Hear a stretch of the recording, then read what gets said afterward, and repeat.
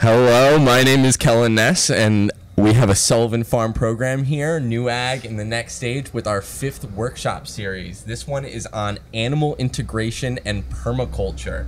So it's about integrating livestock and wildlife with crop cultivation, including forest utilization.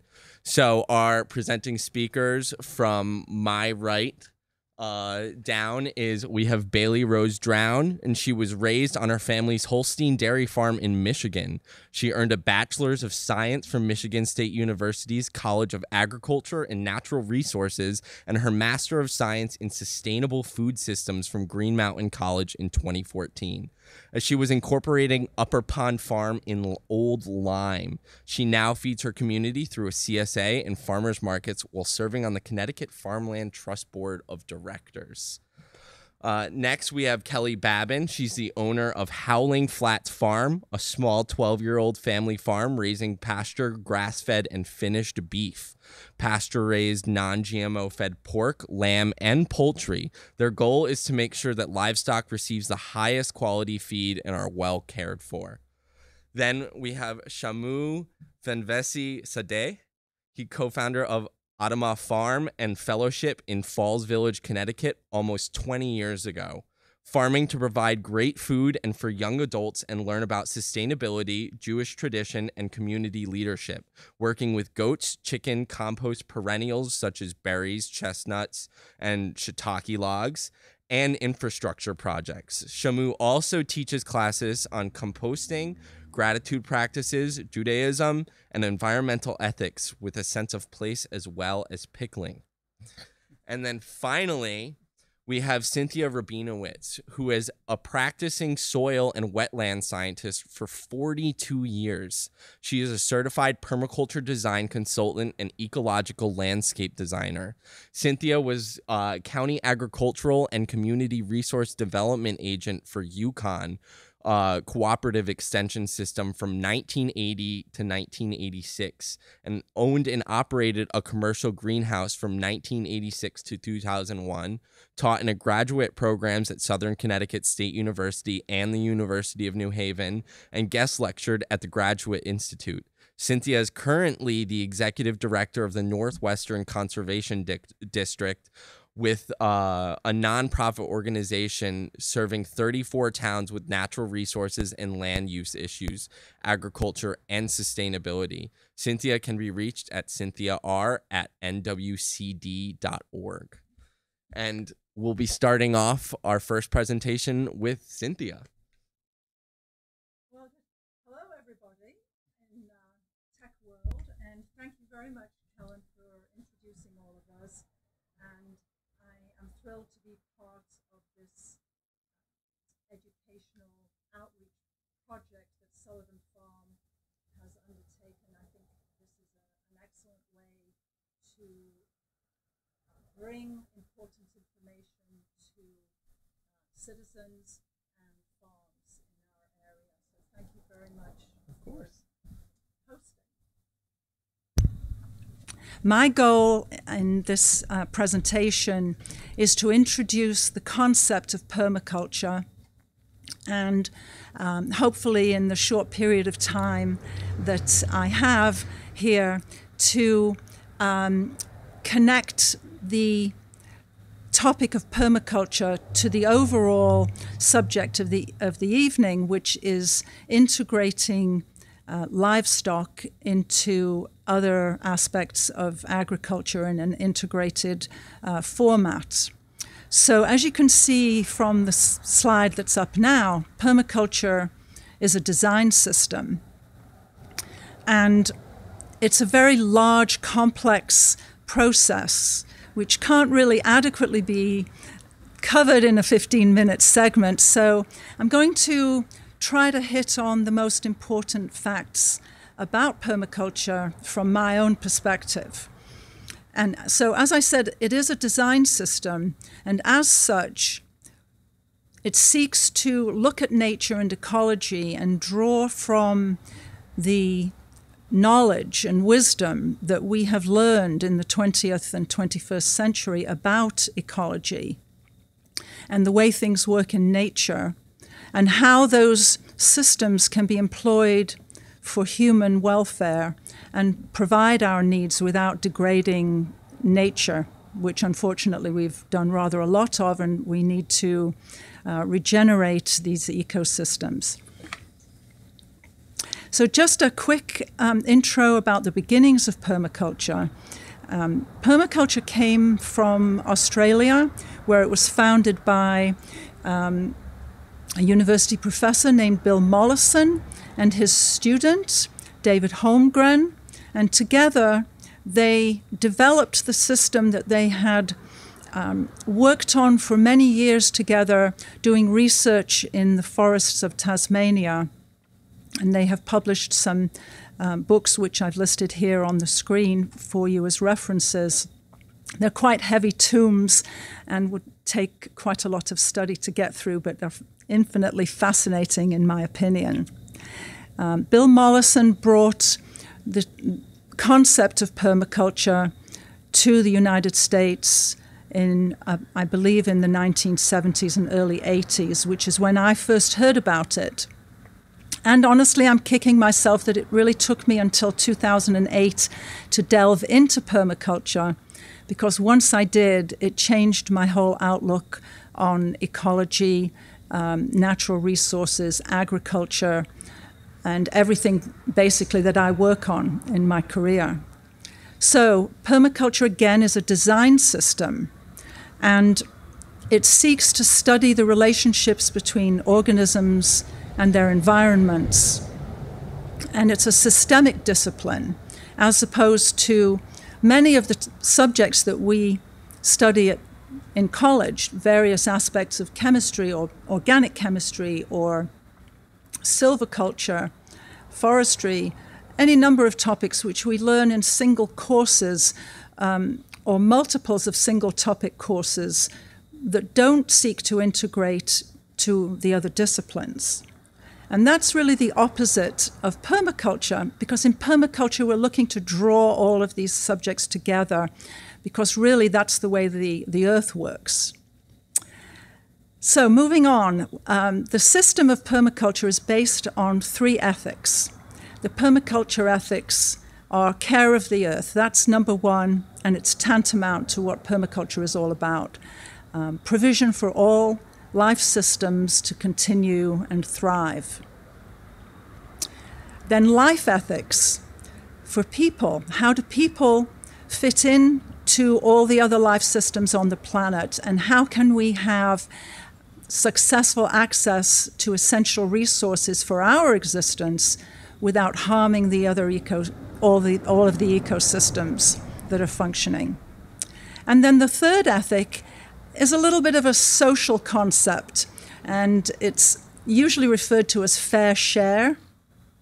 And this is the idea of setting some humane limits to consumption, sharing the excess of our productivity with others, including the ecosystems that we draw from and the wildlife that live there. And then we have a set of principles. The permaculture principles are generally considered to be universal, universally applicable guidelines which are used to create sustainable habitats.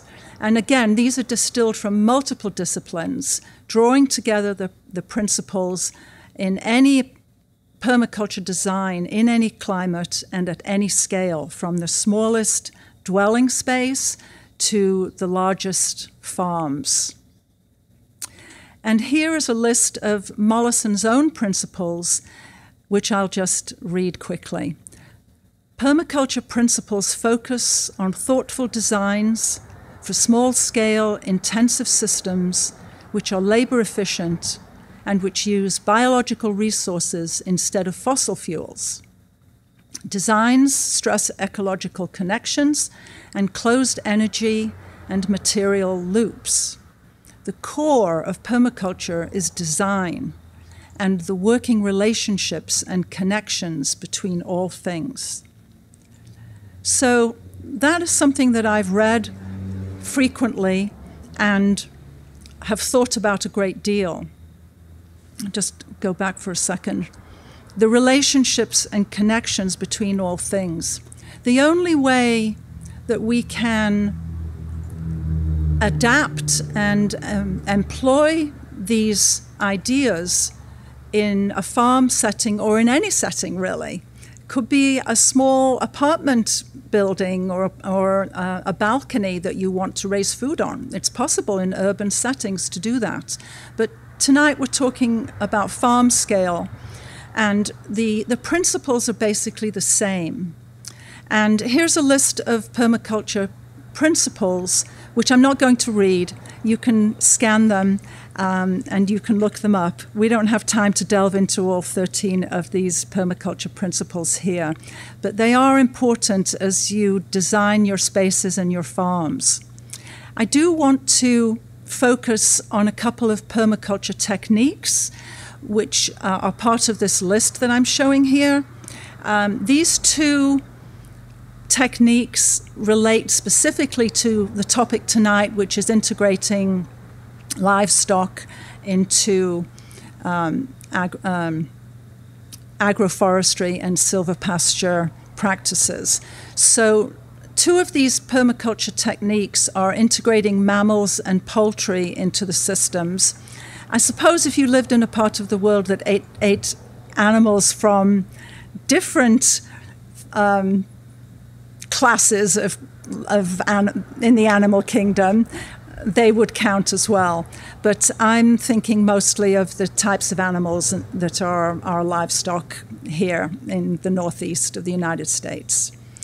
So, integrating the animals into a system that involves trees and um, possibly other perennial crop plants is what I would like to focus on tonight. Um, so let's move on.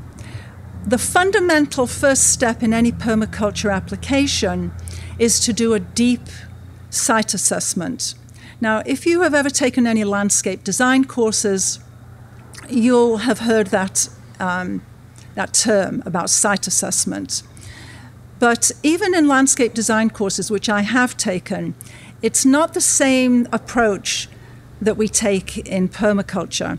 In permaculture, it's very deep and slow observation. I, I, like to refer to it as deep observation.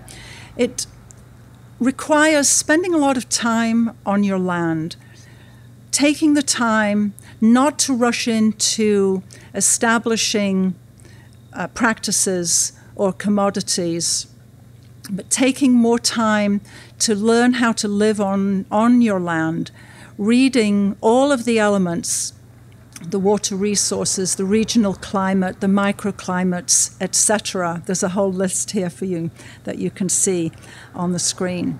Spending the time, even if it takes a year or more, uh, of going through all four seasons before taking out a roll of um, old newspa- newsprint and, and a uh, pencil and starting to sketch out the elements that are uh, functioning on your property. Where is the water flowing?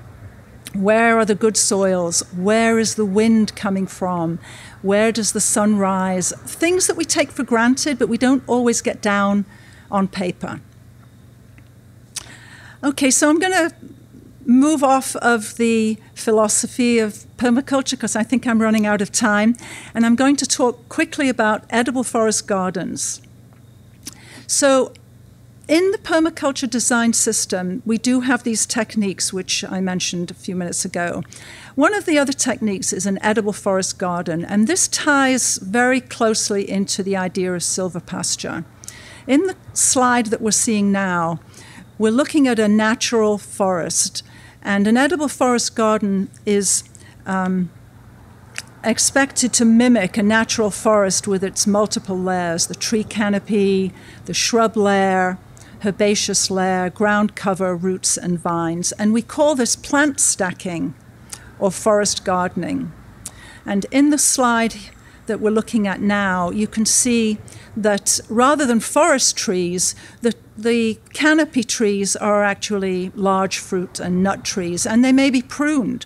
Um, as they are on, in many commercial orchards, to open them up, and that creates light underneath the trees where you can have um, other perennial plants such as um, smaller dwarf fruit trees, shrubs such as various currants, gooseberries, any kind of berry, herbaceous plants like comfreys, rhubarb, herbs, then the root vegetables in the rhizosphere, uh, ground cover plants such as strawberries, and um, other plants that don't grow tall. But we can also have a vertical layer of climbers and vines.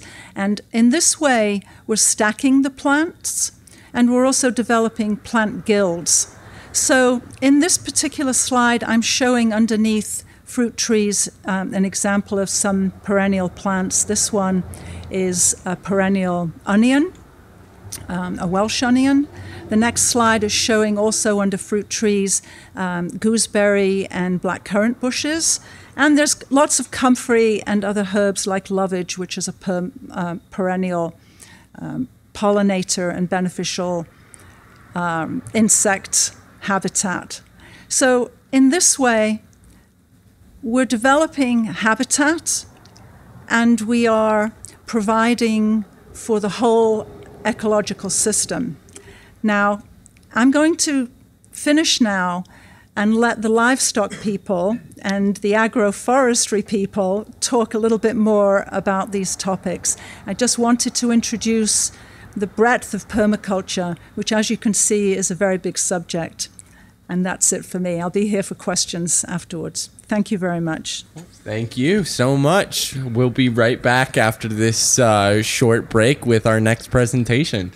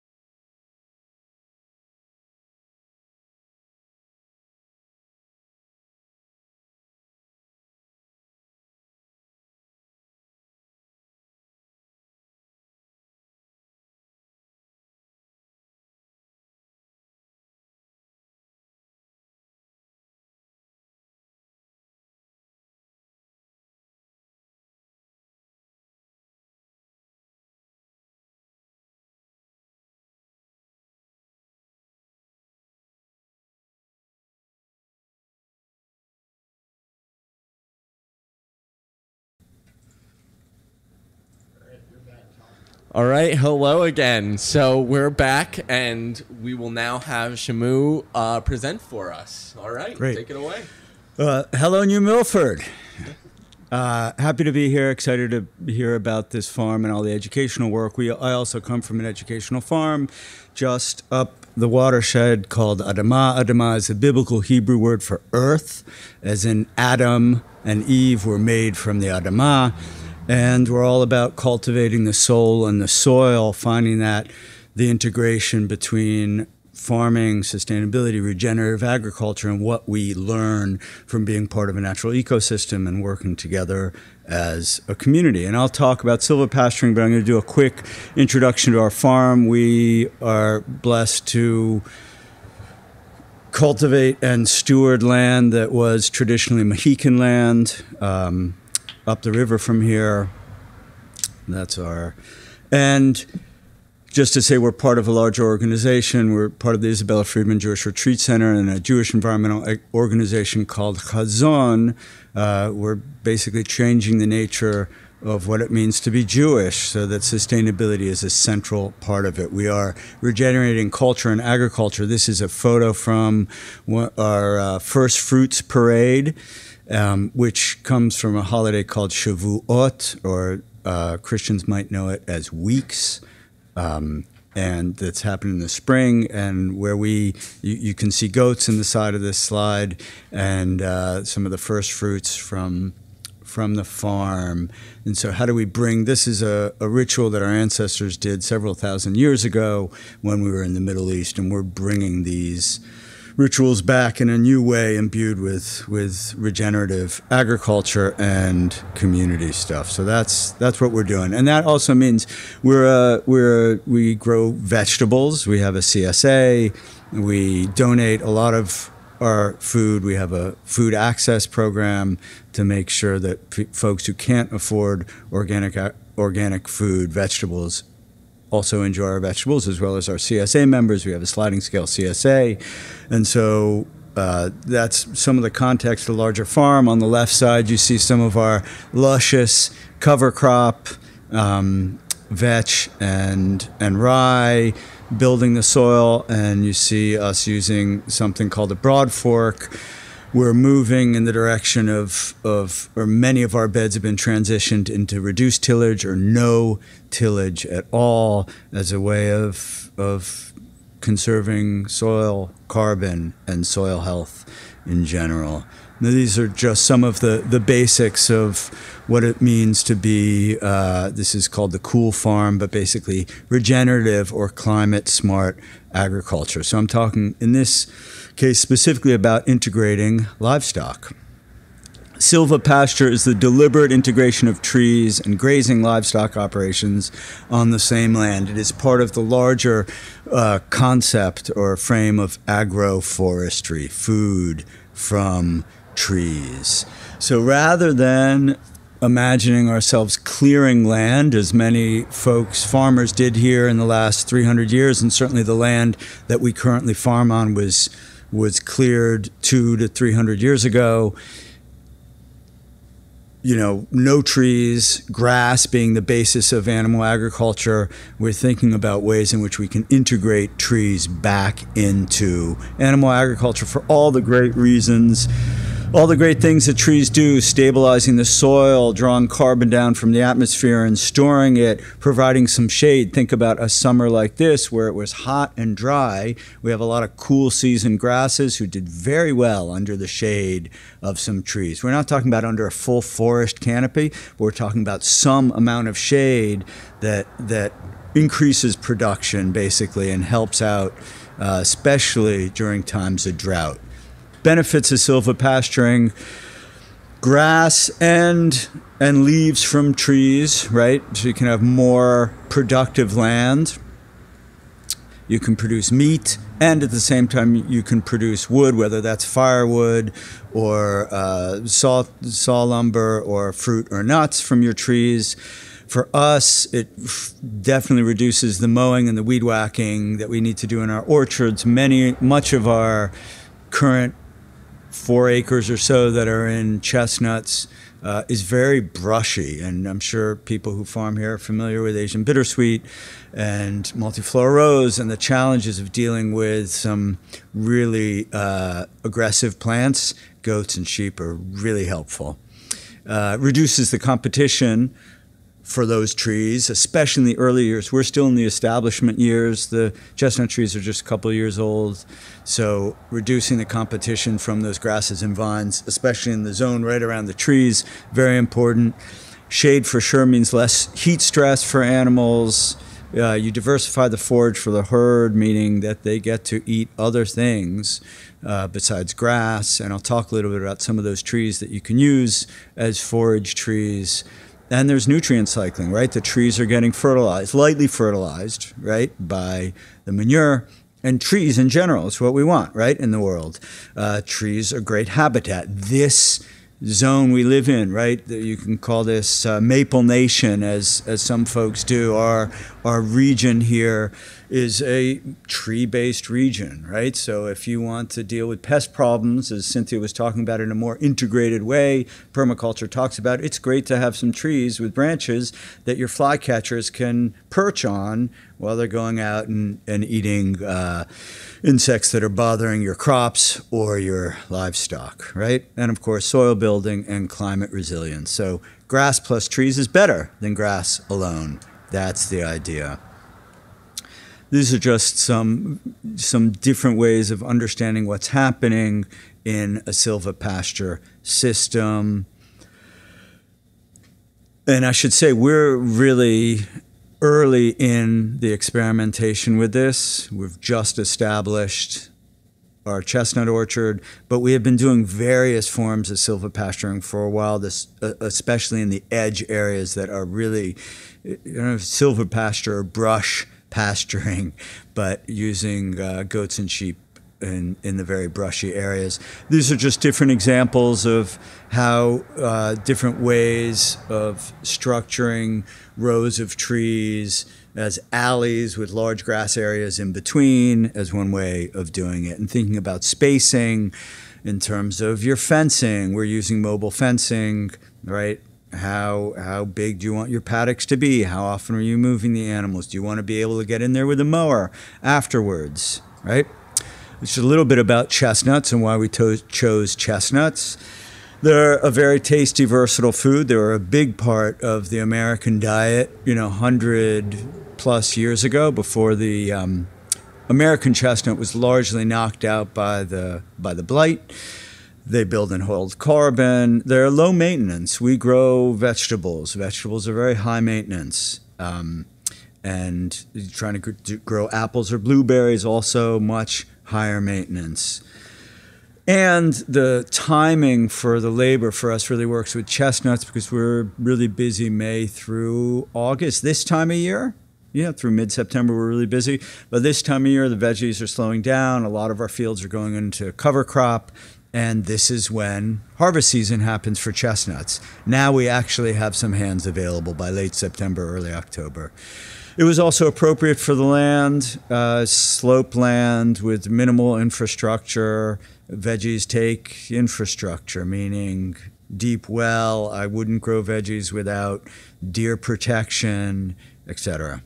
Um, yeah, and we raise goats and sheep for meat, and we also make parchment, which is uh, that we use to write uh, sacred ancient texts on uh, in the Jewish tradition. So if you're familiar with a mezuzah on someone's doorpost, or when the Jews break out the Torah, it's not a book made of paper; it is a scroll of animal skin.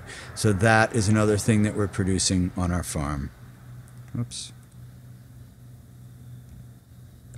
There we go. And this is what the chestnuts looked like when they went in. this was peak COVID. This is spring of 2020, uh, and um, and we're putting in dormant Asian and Asian American hybrid chestnuts on the land. Had some big volunteer days, which were which were super fun. Cynthia was there. Um, we spent a lot of money on tree protection. Uh, we had a grant from Berkshire Ag uh, from Berkshire Ag Ventures, which was very helpful because we could spend a little extra money on tree protection. We don't have a deer fence there, and the deer pressure is considerable. So those tubes and the stakes you see inside each of those is a chestnut tree. Right. These are just a few other pictures. Early spring, you can see the uh, you can see the flowers on the big on the big sugar maple trees. Details of our chestnut planting seven different varieties. Uh, we got design help from Regenerative Design Group. The trees are planted at 20-20 spacing, thinking that we'll eventually get to a 40 and 40 spacing once they're mature, meaning some of the trees will die, some of them will prune out. And when we planted, we added a mycorrhizal inoculant, which helps the trees develop relationships with beneficial fungi. We used cardboard mulch, wood chip, stake, tree tube. We the maintenance has really been a tiny bit of emergency watering, as you can imagine. This summer needed some emergency watering, um, pruning them, and weed whacking around the tree tube. A lot less weed whacking thanks to the animals. and this is uh, very proud of this. This is my the first tree that re- reached six feet, and you saw how big this tree was when we planted it. It was maybe two feet, year old sapling, and um, and so they're, they're getting big, which is great. We do intensive rotational grazing, which means we move right now, it's just a herd of 10. We'll probably increase animal number of animals next year. We're moving them twice a week, June through early November. We do a educational ritual kosher slaughter of the goats and sheep in early November. We use a solar charged electric fence, and we do bring them brush when we're cutting brush around the farm, controlling our fence lines. We'll often throw the stuff in a truck and bring them some of that extra brush. We do mow as needed to diversify the pasture. I am often trying to suppress poison parsnip and goldenrod from just dominating the entire pasture, and also to reset the pasture pasture when the grasses or the plants are just over mature and they're not good um, nutrition at that point for the goats and sheep. So in this photo, uh, you can see inside the fence. That's our last pasture, and down where the person is standing with the goats and sheep, that's the next pasture, just to get a sense of, of what it looks like after they've been intensive rotational, meaning they eat everything down and then we move them. That's good for soils, it's good for plant diversity and animal health. So that's a new pasture that has not been eaten behind this fence and uh, before before they eat it down. So just some future silvopasture plans uh, at the edges of our chestnut orchard to supplement, you know, and to provide more production of the land and provide more food for our flocks.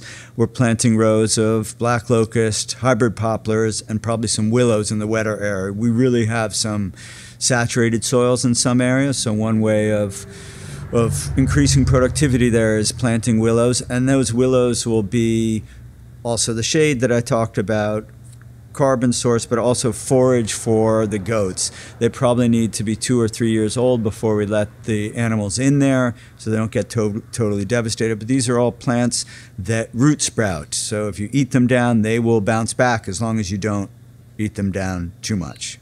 So uh, I got to see this at All in One, All, all for One, One for All. I think I'm getting that right. AOOA Farm um, just a couple weeks ago, and these are rows of their fodder trees that they rotate their sheep around, and it's a mixture of white mulberry and some hybrid poplar and some willows and some black locusts that they um, and these trees are just three years old and already their sheep are moving through them getting to eat off those trees. The grasses are benefiting from a little shade, and they're doing what Cynthia talked about in terms of stacking, right? Not just having grass, one level of production, but a whole nother vertical, vertical diversity here. And just providing some silvopasturing resources here. Recommend anything that the Savannah Institute is doing. It's really Midwest based, but there are really pioneers in this whole field of agroforestry and silvopasturing. There's a book called Silvopasture by Steve Gabriel. There are a number of great silvopasture Facebook groups. Um, nice to find something really useful for me to do on Facebook with some good information. And of course, there's the extension offices and uh, the work that the counties, various county ag extension people are doing. Thank you so much. Wonderful. Thank you so much. Up next, we'll have uh, Kelley Babbin uh, explain. Awesome. Yeah. Hey, tell us about your farm.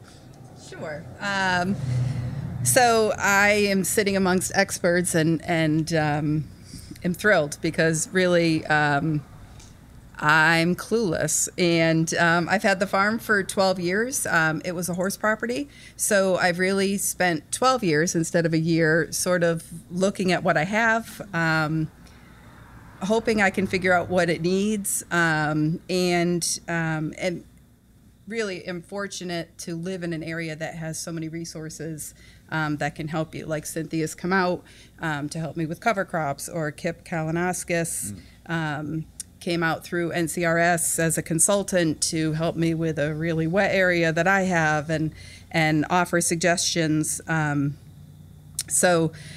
I'm working to create a design system. Um, I'm like probably you in the audience, um, just uh, always looking for more information, always looking for um, what will work in our area because, yes, there is a lot of great information, um, but when you don't have the background knowledge to be able to implement that, um, I have a black thumb. I don't grow anything. um, I raise livestock, um, but my goal is to provide the best for my livestock. So um, I agree with all of you know the core principles of, of permaculture and silvopasture and um, am in still after all of this time of fencing and refencing and how big is the pass, paddock well that one was too small so you take the fence down and um, moving moving goats and sheep and thrilled when I don't have to weed whack. Um, really thrilled that when I don't have to weed whack. Um, and it and it's taken all of this time, and and it's still a work in progress to create a design system um, that regenerates our land. I, I have what was horse property, so my land just sat there with horses standing on it, and they fed hay and. Um, the soil's compacted and they clear cut everything and um, it's not necessarily the best environment for my animals. Um, so, uh, again, I was excited to be here really to speak to the availability of, of experts and help and assistance in the local farms that I, you know, have met or that are around me, um, and the various agencies that um, exist um, that are free, most importantly for poor farmer. Um, uh, and you know how how the small areas that I've been able to improve uh, that you can you can literally see the difference. You can see the difference when the sheep want to be in a certain area or you can see when the cows are using you know the small hedgerow that survived as a natural barn in the winter and um, just how much the animals enjoy the variety of forage um, high, low, and in between for the goats that love to stand up and, and eat my willow trees, and um, and and all of the nutritional benefits that go along with it. So it's um, I think an exciting and and a no brainer that that every farm needs to implement some form of permaculture because um, if not, it's it your soils are literally just washing away and and you know going going fallow so um, yeah i don't have a great presentation um, i was just again excited to um, hear more about it and um, and sort of speak to the fact that you know don't give up hope that you know even all these years later um, that improvements can be made and it's amazing to see um, how, how the animals appreciate it. That's wonderful. Well, it's really good to still have that perspective. I mean, you've been farming for 12 years, and uh, how many acres do you farm? Uh, my farm is only 14 acres. That, hey, that's still quite a bit of land to take care of. And what do you think like is the most challenging thing right now for you? Uh, well, um, the weather. right now, it's the weather. Uh, this year's sorghum didn't beat the weeds. Um, so that all got turned under, and I thought it would be the year for permanent pasture in one of my areas, but it's been so dry I can't risk, you know, trying to plant seed that isn't going to grow. So it's another year of cover crop, which is great, but the sheep are eating it. Um, but uh, yeah, I think the weather is hard, and and for me, it's really it's the knowledge. I um, didn't get an ag degree. I was supposed to be a teacher, um, and and don't don't have a farming background either. So um, okay. it's been uh, a learning experience. It's been fun, and I'm not complaining in the least. But it's um, the the biggest challenge is not tripping over my own feet. It's a lot of work. Yeah. Well, yeah, it's a lot of work, but it's you know it's it's just um, trial and error. Yeah. Perfect. Yeah. Well, that's wonderful. All right. Well, we'll be back with our final speaker right after this break.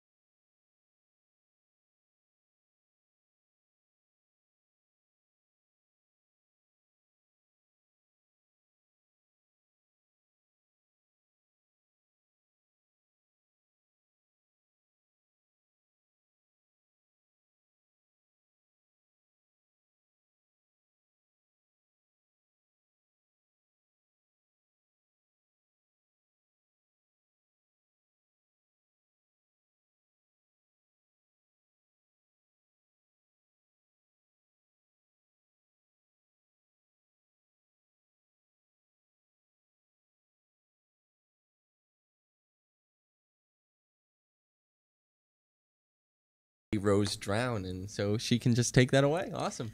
Hi, thank you so much for hosting us tonight. I'm really excited to be here along with these other wonderful panelists. Thanks so much for sharing your experience and knowledge.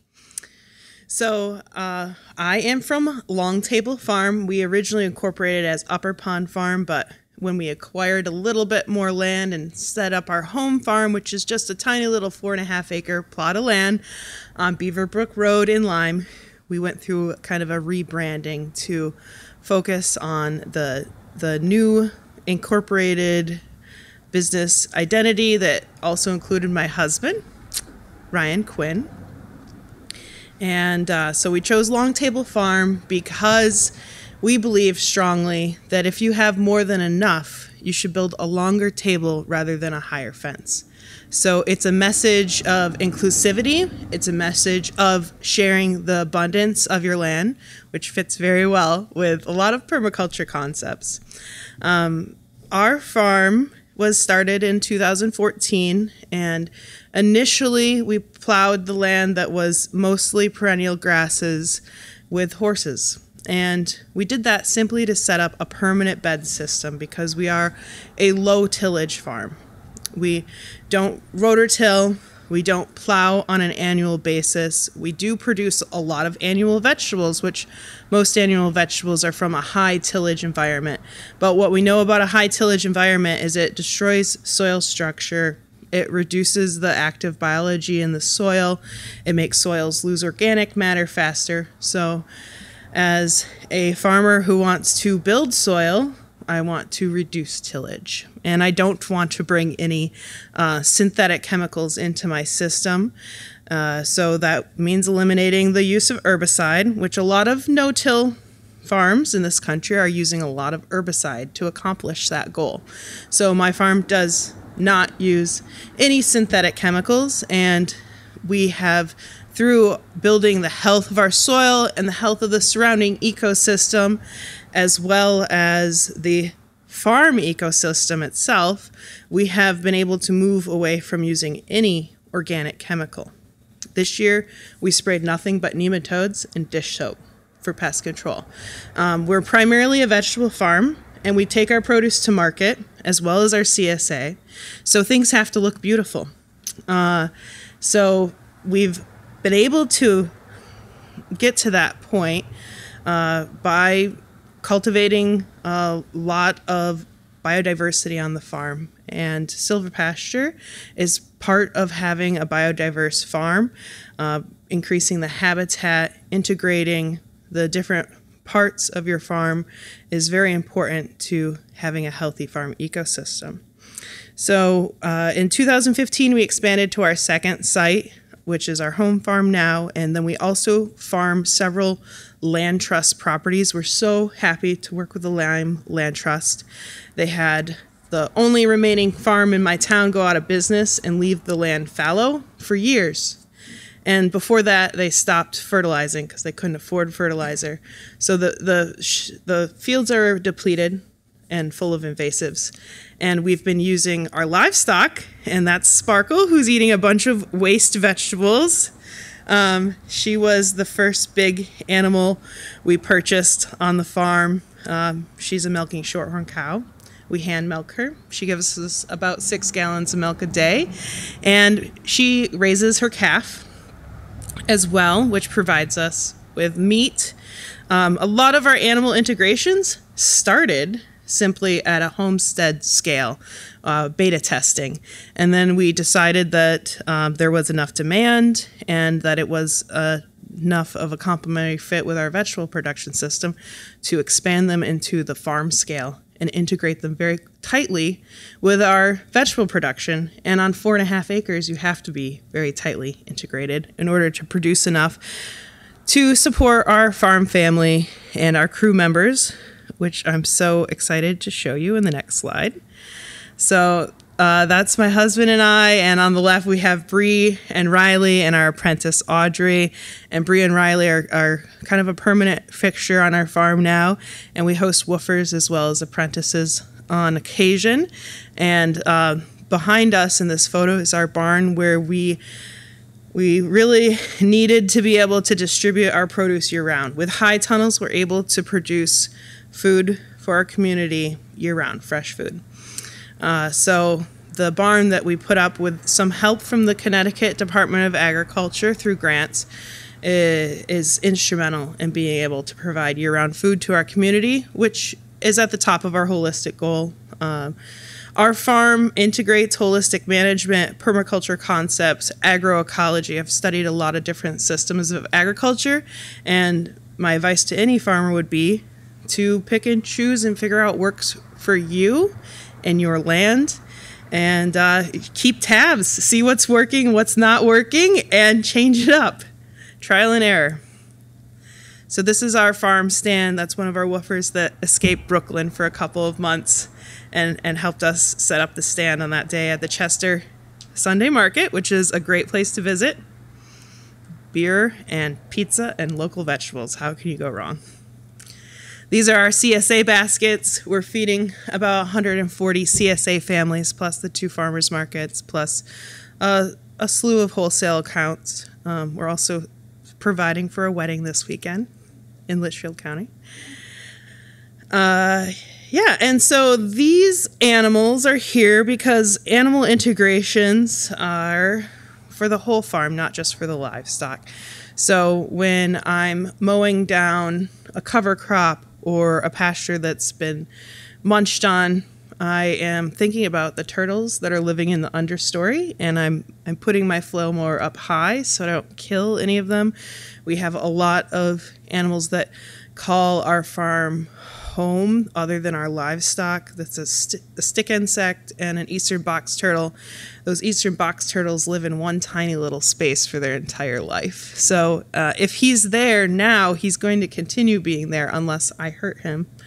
Uh, so, you know, we're considering all of the animals on the farm, not just our livestock. Uh, and they are helping us um, by providing ecosystem services in the form of pest control and, and so many other almost immeasurable benefits.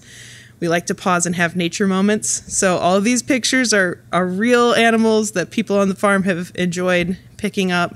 Um, we provide a lot of habitat uh, to butterflies, salamanders, and sometimes even more intentionally with things like bat boxes and even just little parts of the farm left wild. I have a slide here of really carefully tended vegetables with a very unkept walkway next to them.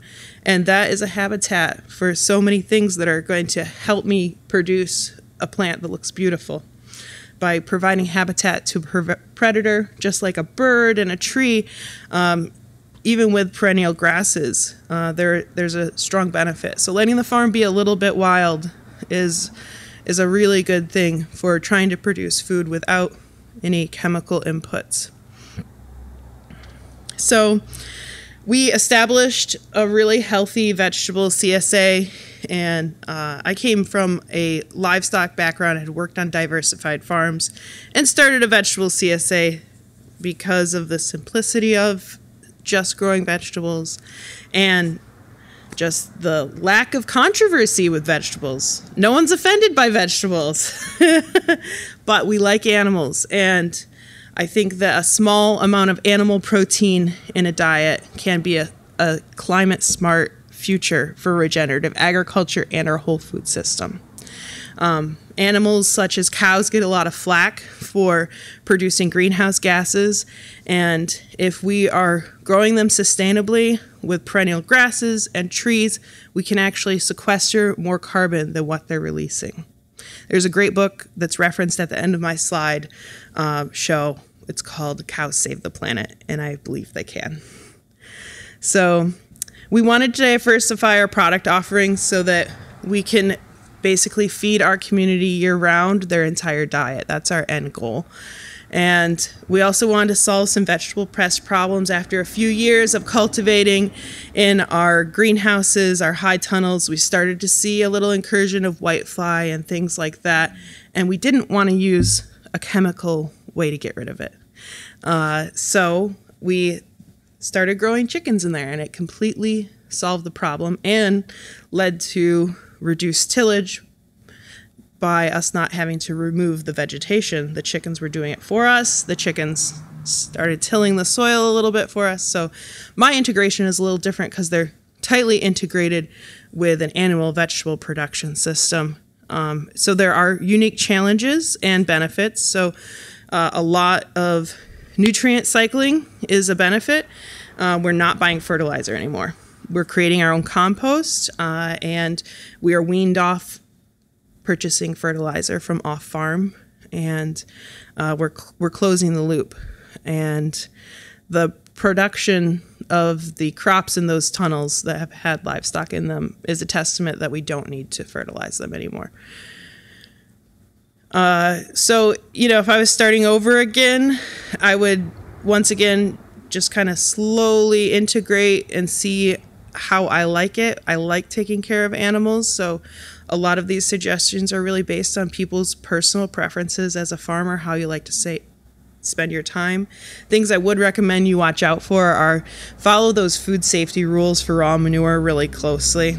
It's 90 days from a crop um, that is harvested off a vine, like a tomato that's not touching the ground, and it's 120 days from a raw manure application for a crop that's on the ground. We take food safety really seriously on our farm, and, and in integrating animals and vegetable production is dangerous if you're not being careful. You can you can make people sick.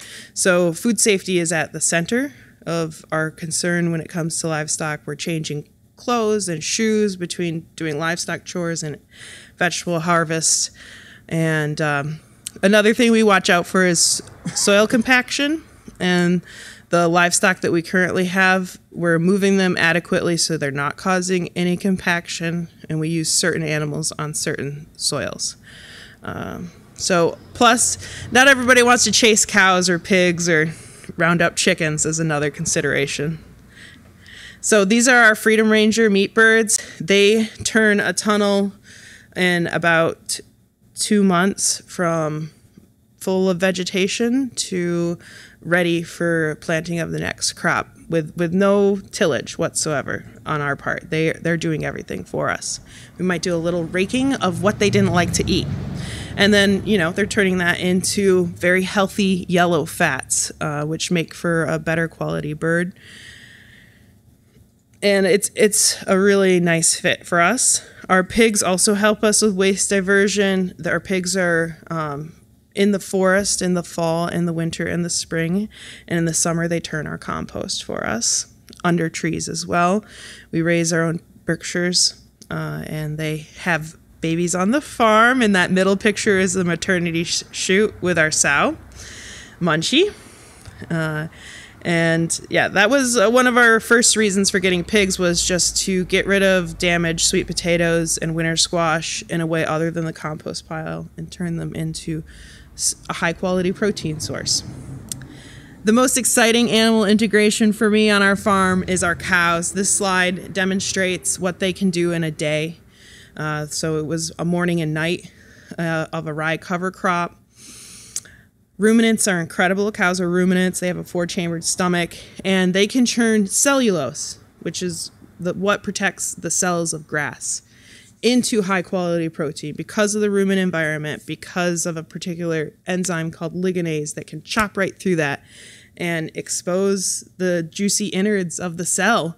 Uh, so I feel like cows have a place in our food system and they can they can turn grass into milk and meat which is is really valuable for humans maybe we shouldn't be growing all this grain as a planet for cows. We certainly shouldn't be tearing down forests for supporting cows. We should probably be eating a little bit less meat and milk as a society for our food system. But I, I do not advocate for the complete eradication of cows.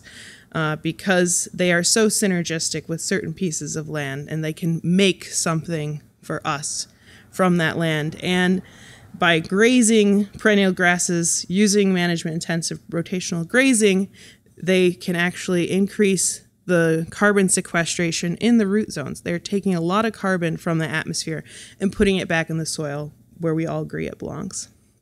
So I forced the cows to eat this down really hard. I was mean. And this is what they left me a terminated cover crop. As a low till farmer, a terminated cover crop is a tricky thing, especially with rye. It wants to live. So that's one way that I'm really excited to use my cows. We're beta testing turkeys right now. Uh, so this is our first 40 turkey batch. It was really born out of necessity that I just could not find a, a locally sourced high welfare turkey for my own Thanksgiving plate. Uh, so they are taking out the tomatoes from this tunnel right now. They're pretty close to done with the tunnel, and they've done uh, their due diligence in just two weeks. They've turned it from this luscious green palace to this brown, sad place that they now want to leave and go and eat grass. And they have been doing that. They're probably doing that right now. So, uh, yeah, those uh, that's what they yeah, this is what they were doing yesterday. I did get this slide in here. They they're very happy to go out and graze and prevent me from having to mow and weed whack. Yeah. So, these are our ducks. That's the the last thing that we have integrated. Our ducks are integrated into our orchard. We have hardy kiwi above them, and they are grazing underneath it to help with pest control. And uh, they produce delicious eggs for us. So, thank you so much for listening. Thank you so much for uh, coming out to speak. Uh, I'd like to thank everyone for watching. And uh, you will see that we have one more workshop uh, scheduled sometime next week. Awesome. Thank you so much.